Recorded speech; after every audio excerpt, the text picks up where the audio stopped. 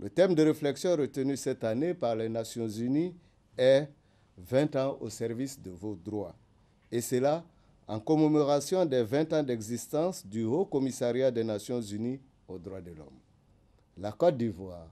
pays épris des valeurs communes des droits de l'homme, s'est engagée dès son accession à l'indépendance à asseoir une pratique et une culture des droits de l'homme qui s'est renforcée au fil des années par des réformes substantielles sur le plan normatif et sur le plan institutionnel. L'État à qui il incombe la responsabilité de promouvoir et de protéger les droits de l'homme et les libertés fondamentales réaffirme sa détermination en ces moments solennels et mémorables à s'acquitter davantage de ses obligations